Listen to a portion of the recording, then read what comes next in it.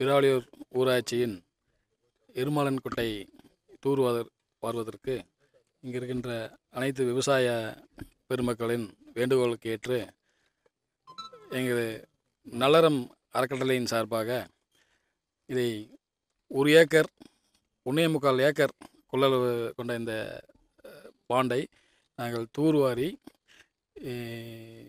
முடிந்ததும் இதில் இரண்டு நாள்களும் இறைவனின் அருளால் மழையும் பெய்து இந்த கொட்டையும் நிறைந்து விட்டது. இதனுடைய கொள்ளளவு எண்பது லட்சம் லிட்டர் தண்ணீர் ஆகும். ஒரு வருடத்திற்கு இது நாற்பது முறை இதே போல் எண்பது லட்சம் லிட்டர் தண்ணீர் இதில் நிறையும்.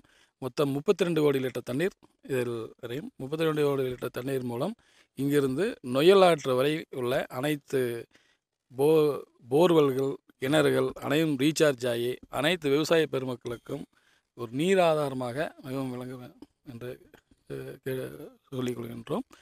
அதுபோக இந்த கரையை நாங்கள் பலப்படுத்துவதற்காக இதை சுற்றிலும் நாட்டு மரங்கள் பல வகையான மரங்கள் மியாவாக்கி முறையில் வைத்து சுமார் ஐநூறு மரங்கள் வைத்து இந்த பகுதியையும் ஒரு பசுமை மிகுந்த பகுதியாக மாற்றி எங்களது அதையும் எங்கள் நலரும் அறக்கட்டளையே செய்து கொடுக்கும். இதுபோல் இந்த கோயம்புத்தூரின் நீராதாரமாக விளங்குகின்ற சிறுவாணியிலிருந்து வருகின்ற நொய்யல் நொய்யல் சுற்றியுள்ள பகுதிகளிலும் ஏறத்தாழ இங்கே ஒரு நூறு குட்டைகளுக்கு மேல் உள்ளது. இது எங்கள் நலரம் சார்பாக செய்த முதல் குட்டை.